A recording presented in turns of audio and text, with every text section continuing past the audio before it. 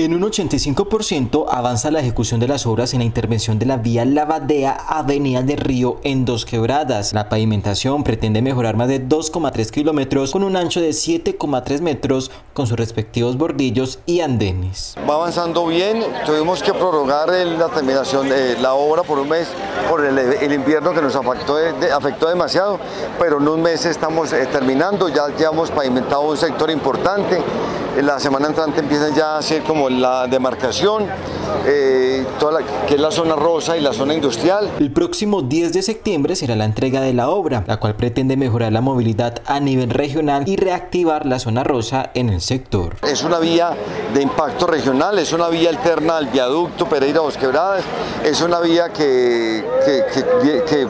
cotidianamente transitamos los que hemos en Dos Quebradas o en Pereira, pero también la gente que viene de, Caldas muchas veces se viene por esta vía. Entonces es una vía demasiado importante, es una vía que ayuda a descongestionar y que ahora que hemos tenido la obra ha generado eh,